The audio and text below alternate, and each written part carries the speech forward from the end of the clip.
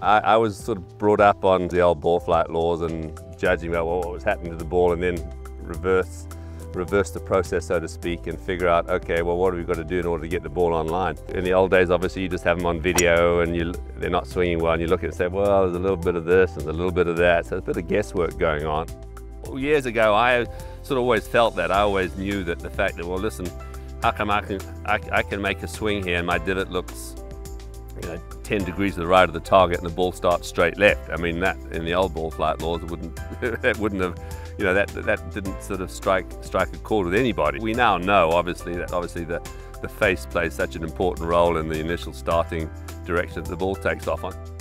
You know, TrackMan really is a, is a shortcut to understanding what's happening with, with the ball flight. One of the big ways we use it is really when somebody's really swinging well, we've now got the numbers that we can then revert back to. So it's, you know, you're not guessing. The numbers don't lie. Okay, this is what's happening.